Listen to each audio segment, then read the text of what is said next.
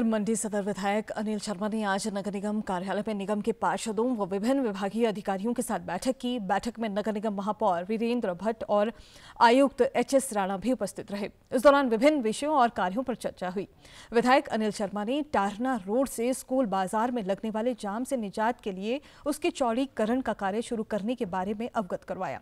इसके अलावा sewerage lines और बिजली की तारों को व्यवस्थित करने सहित अन्य विषयों पर भी सुझाव दिए गए। हमारे जो भी शहर के अंदर और भी जो कंस्ट्रक्शन के काम जो हमने प्लान कर रखे हैं, उनके बारे में मैंने उसको जानकारी दी कि यहाँ पर शहर के अंदर चाहे वो हमारा पंचवख्तर के जो टेंपल है, उसके लिए मैं टूरिज़्म से जो बात की है, उसी एक रोड मैप उसके लिए भी मैंने प्लान करने की बात की है। उसी को पंचवख्तर के लिए भी हमने एक कनेक्टिविटी रोड क्योंकि पटल के साथ जो हमारा पुरानी मंडी को रोड बन रहा है, जिसकी लैंड एक्वायर की जा रही है, उसके साथ साथ मेरा उचित समझा कि वहीं से मैं सड़क का निर्माण करके जो है उसको भी हम करें।